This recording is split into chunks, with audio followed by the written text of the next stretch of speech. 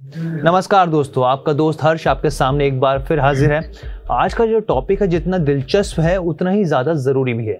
As a parents हम सभी अपने बच्चों को सुनहरा भविष्य उनका बनाना चाहते हैं, जिसमें उनकी अच्छी स्कूल में पढ़ाई हो मैनेजमेंट हो मेडिकल जैसे प्रोफेशनल कोर्सेज हो, या फिर उनकी शादी हो, सभी के लिए पैसों की ज़रूरत होती है। लेकिन ये पैसा आएगा कहाँ से? इसी का जवाब जानने के लिए आज हमारे साथ जुड़ रहे हैं बेहद खास मेहमान मेरे साथ जुड़ रहे हैं certified financial planner Jitendra Solanki ji. Sir आपका बहुत बहुत स्वागत है बिज़नेस टुडे बाज़ार में। नमस्कार। तो जितेंद्र जी सबसे पहला मेरा जो सवाल है कि एक एग्ज़ाम्पल के तौर पर लेके चलते हैं कि अगर किसी शख्स की शादी हुई है और आ, शादी के शुरुआत से ही उसको इन्वेस्टमेंट की शुरुआत कर देनी चाहिए अपने बच्चों के प्लानिंग के लिए या फिर जब उनकी फैमिली में कोई नया नया मेहमान जुड़ता है नया नया मेहमान आता है तब से उनको स्टार्ट करना चाहिए। इसके बारे में बताएँ सर थोड़ा। देखिए, बच्चों की जहाँ तक फ्यूचर प्लानिंग की बात है तो एक बात तो स्पष्ट है कि हम बच्चों की प्लानिंग को डिले नहीं कर सकते। आमतौर पर हम देखते हैं कि अगर प्लानिंग डिले करनी हो तो हम अपना रिटायरमेंट डिले कर लेते हैं। अगर मान लीजिए हम कॉर्पस नहीं इकट्ठा कर पा रहे हैं, लेकिन बच्चों की जो पढ़ाई है वो एक निश्चित समय पे आनी है और आपको वो कॉर्पस उस टाइम पे इकट्ठा करना होगा, उसको आप डिले नहीं कर सकते। यानी कि आपके पास समय जो है, बड़ा निश्चित होता है। तो हम्म। अब क्योंकि किसी भी निवेश को जब हम लेते हैं तो लॉन्ग टर्म लंबी अवधि का निवेश ही आपको एक अच्छा कॉर्पस एक्यूमुलेट कर सकता है और जितनी ज़्यादा आप लंबी अवधि लेंगे उतना आप कम कंट्रीब्यूशन के साथ इकट्ठा कर पाएँगे तो शादी के बाद अगर आप कर सकते हैं तो मेरी राय में तभी से जो है निवेश शुरू हो जाना चाहिए। प्लानिंग आप कब करते हैं, वो बात की बात है। लेकिन निवेश आप शुरू कर सकते हैं और तब से अगर आप निवेश करेंगे, जैसे मैंने कहा कि कम कंट्रीब्यूशन के साथ आप एक अच्छा कॉर्पस इकट्ठा कर पाएँगे, जब तक आपका बच्चा जो है कॉलेज लाइफ में जाने के लिए तैयार होगा। जी, यानी आपकी एडवाइस है कि शादी के बाद से निवेश की शुरुआत कर देनी चाहिए। तो ये तो आपने समझा दिया। अब ये समझाइए जितेंद्र जी की कि बच्चों की बेहतर भविष्य की प्लानिंग के लिए शुरुआत आखिर कैसे करनी चाहिए? देखिए बच्चों का जब लिए पहली बात तो निवेश हम शुरू करते हैं तो जैसा मैंने कहा लंबी अवधि का निवेश है। लंबी अवधि के निवेश के लिए हमें इन्फ्लेशन को बीट करने की ज़रूरत पड़ेगी। और इन्फ्लेशन अगर हम सात परसेंट लेते हैं तो यानी कि हम दस परसेंट कम से कम रिटर्न की जो है अपेक्षा करेंगे तभी हम इन्फ्लेशन को बीट कर सकते हैं। तो शुरुआत में आप नो मंथली एसआईपी से स्टार्ट करके अपने निवेश को शुरू कर सकते हैं और धीरे धीरे जो है फंड अक्यूमुलेट कर सकते हैं। तो ये तो निवेश का ज़रिया है। बाकी ये है कि बच्चों का जैसे जैसे बच्चे बड़े होते हैं उनको नो मनी मैनेजमेंट सिखाना और दूसरी वैल्यूज़ को सिखाना तो वो एक उनके अच्छे भविष्य के लिए आ, बड़ा ही जो है अच्छा तरीका है हम्म। अच्छा फ़र्ज़ कीजिए कि अगर आज कोई प्रोफेशनल कोर्स छह लाख रुपए का है लेकिन कल के दिन जब बच्चे बड़े होंगे बीस साल बाद तब उस कोर्स की कॉस्टिंग क्या होगी ये अभी हमें नहीं पता है क्योंकि जिस तरीके से हम देख रहे हैं कि इन्फ्लेशन तेज़ी से दौड़ रहा है उसी तरीके से एजुकेशन इन्फ्लेशन भी सिरदर्द बना हुआ है। ऐसे में इसके हम्म। खिलाफ जो पेरेंट्स है कैसे लड़ाए लड़े इसके बारे में बताएँ। देखिए अभी इसी उदाहरण को लेते हैं। छह लाख का आज की ज़रूरत है एजुकेशन की और बीस साल का समय है यानी कि बीस साल के बाद ये छह लाख रुपए आपको चाहिए होगा जो आज की कॉलेज एजुकेशन के लिए लगता है। हम्म। अब मैं मसलन दस परसेंट का इन्फ्लेशन अज्यूम करता हूँ। जो कि एक एजुकेशन का इन्फ्लेशन होता है जनरली हायर होता है इस 10 परसेंट इन्फ्लेशन के साथ मुझे 20 साल के बाद 40 लाख रुपए की ज़रूरत पड़ेगी तो हम्म। ये वो कॉर्पस है जो आपको इकट्ठा करना है 40 साल के अंदर 20 साल के अंदर अब इसको हम्म। इकट्ठा करने के लिए आप अगर आज से शुरू करते हैं तो आप मैं वही म्यूचुअल फंड अगर मैं अज्यूम कर लूँ इक्विटी म्यूचुअल फंड 12 परसेंट का रिटर्न है तो आप पाँच हज़ार पर मंथ कॉन्ट्रीब्यूशन की ज़रूरत है। और जैसा मैंने कहा, आप अवधि को जो है कम करते जाइए, आपका कॉन्ट्रीब्यूशन जो है बढ़ता चला जाएगा।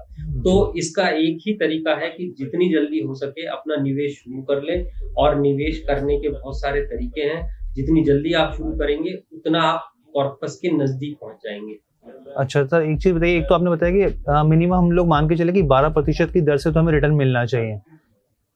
ये आपका कहना है सर? जी हाँ हम हम शेयर बाज़ार इक्विटी म्यूचुअल फंड में हम निवेश कर रहे हैं तो हम 12 हम्म। परसेंट का लगभग रिटर्न अज्यूम कर सकते हैं। इससे ज़्यादा भी आपको मिल सकता है डिपेंडिंग आप क्या पोर्टफोलियो बनाते हैं लेकिन 12 से 15 परसेंट का हम रिटर्न एक्सपेक्ट कर सकते हैं अगर हम इक्विटी म्यूचुअल फंड में निवेश कर रहे हैं। ठीक है सर। तो अब हम आगे बढ़ते हैं अपने सवाल के ऊपर। तो हम लोग जाना चाहते हैं कि सर ऐसे पाँच म्यूचुअल फंड्स आप बता सकते हैं जो बच्चों की पढ़ाई से लेकर उनकी शादी तक की टेंशन को दूर कर दें। और साथ ही इन जो, जिन म्यूचुअल फंड्स के बारे में आप बताएँगे, उन्होंने पिछले पाँच साल या दस साल में कितना रिटर्न दिया, इसके ऊपर भी जानकारी दीजिए। जी तो देखिए सबसे पहली बात, जब भी आप म्यूचुअल फंड में निवेश करें तो एक पोर्टफोलियो आपको बनाने की ज़रूरत पड़ती है, जिसमें लार्ज कैप, मिड कैप और बाकी कैटेगरीज का रेशो अच्छा हो। लंबी अवधि है। कोई भी म्यूचुअल फंड में आप निवेश करें तो लार्ज कैप का रेशियो ज़रूर होना चाहिए अच्छा क्योंकि तो उससे जो है आपके पोर्टफोलियो में कंसिस्टेंसी रहती है। तो मैं आपको कुछ और कुछ दूसरी कैटेगरीज के फंड बताता हूँ। तो लार्ज कैप में Mirae asset large cap fund है, जो काफ़ी अच्छा फंड है, काफ़ी बढ़िया परफॉर्मेंस इसने दिया है और उम्मीद करते हैं कि आगे भी देगा। इसके अगर मैं पाँच और दस साल के रिटर्न देखूँ तो पाँच साल में ग्यारह परसेंट का रिटर्न लगभग और दस साल में सोलह परसेंट का रिटर्न जो है वो रहा है। फ्लेक्सी कैप कैटेगरी है जिसके अंदर डिफरेंट एक एक्सपोजर लेती है कंपनी पराग पारिक का फ्लेक्सी कैप फंड है, जिसमें लार्ज कैप, मिड कैप और आपको इंटरनेशनल इक्विटी के अंदर भी एक्सपोजर मिलेगा। इस फंड का अगर मैं पाँच साल का रिटर्न देखूँ तो 16 परसेंट का रिटर्न रहा है। मिड कैप कैटेगरी में आते हैं तो कोटक इमर्जिंग इक्विटी फंड है, जिसका पाँच साल का चौदह परसेंट और दस साल के अंदर उन्नीस परसेंट का रिटर्न रहा है रहा है लगभग। इसके अलावा इंडेक्स फंड में जो है इन्वेस्ट किया जा सकता है, खासकर वो जो पहली बार निवेश कर रहे हैं और एक पैसिव फंड की तरफ़ जाना चाहते हैं।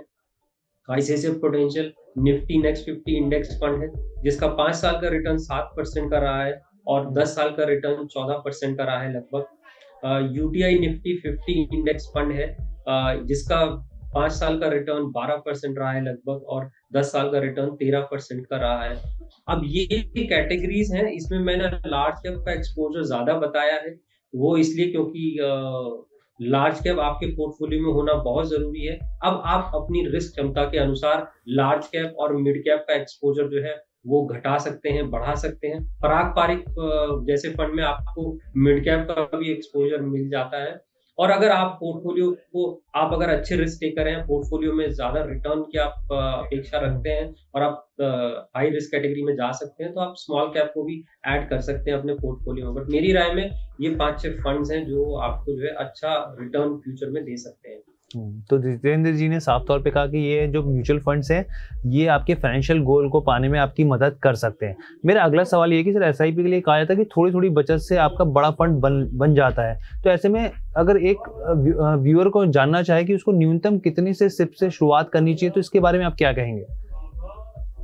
देखिए दो चीज़ें हैं। न्यूनतम न्यूनतम तो आप हज़ार रुपए से भी शुरुआत कर सकते हैं। एस आई पी तो उससे भी की जा सकती है। फाइनेंशियल गोल जिस तरीके से क्योंकि मेन तो यही है कि बच्चों की पढ़ाई लिखाई जो फाइनेंशियल गोल को बेहद आसानी से पा सके तो इसके हिसाब से मैं पूछना चाह रहा था। इसके लिए इसके लिए हम उसी उदाहरण को ले लेते हैं कि छह लाख का जो कॉर्पस है वो चालीस लाख की ज़रूरत पड़ेगी। तो यानी कि चालीस लाख कॉर्पस को अचीव करने के लिए मुझे पाँच हज़ार रुपए मिनिमम निवेश करना ही पड़ेगा। इससे अच्छा। कम निवेश में मैं चालीस लाख के कॉर्पस को मैं एक्यूमुलेट नहीं कर सकता।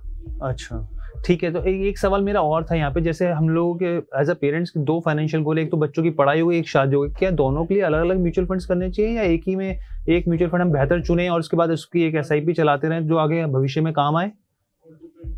नहीं मेरी राय में दोनों अलग अलग करने की ज़रूरत नहीं है। आपने एक बार जो फंड सिलेक्शन कर लिया आप उस फंड सिलेक्शन के साथ चलिए। आपने लंबी अवधि का गोल लिया है। शादी हो सकता है बच्चों की एजुकेशन के और पाँच छह साल बाद आएगी।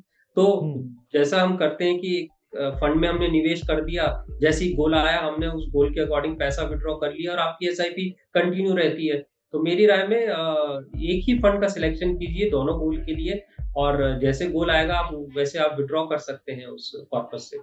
ठीक है सर। मेरा आखिरी सवाल आपसे ये है कि आज भी बहुत सारे लोग हैं जो फिक्स एसेट्स पर ही ज़्यादा विश्वास करते हैं। उन्हीं को उनको लगता है वो ज़्यादा सुरक्षित मानते हैं उनको। तो ऐसे में आप कुछ नाम बता सकते हैं जो अभिभावक निवेश करने मतलब निवेश करें जहाँ पर उनको अच्छा रिस्पॉन्स मिले ज़्यादा बेहतर रिटर्न मिल सके? इसके बारे में कुछ जानकारी दें। जी हाँ अगर आ, आप इक्विटी में ज़्यादा एक्सपोजर नहीं लेना चाहते हैं फिक्स्ड एसेट भी रखना चाहते हैं तो मेरी राय में पब्लिक प्रोविडेंट फंड एक अच्छा एक्सपोजर है लॉन्ग टर्म के लिए।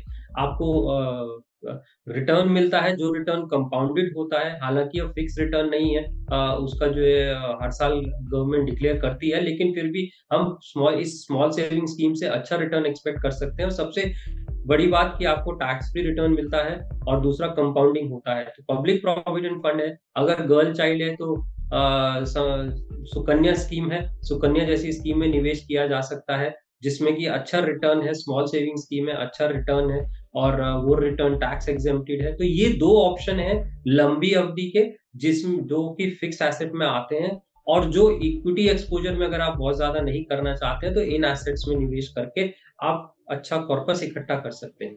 ठीक है जितेंद्र जी आपका बहुत बहुत धन्यवाद। आपने तमाम सवालों के जवाब दिए और हम भी ऐसे उम्मीद करते हैं कि पेरेंट्स जिस तरह की टेंशन में रहते हैं अपने फाइनेंशियल गोल्स को पूरा करने के लिए आपके जवाबों से उनको बहुत ज़्यादा मदद मिलेगी। बहुत बहुत धन्यवाद। धन्यवाद। और मैं अपने व्यूअर्स को कहना चाहता हूँ कि बिज़नेस टुडे बाज़ार से जुड़ी हर एक खबर को सबसे पहले देखने के लिए समझने के लिए देखते रहिए बिज़नेस टुडे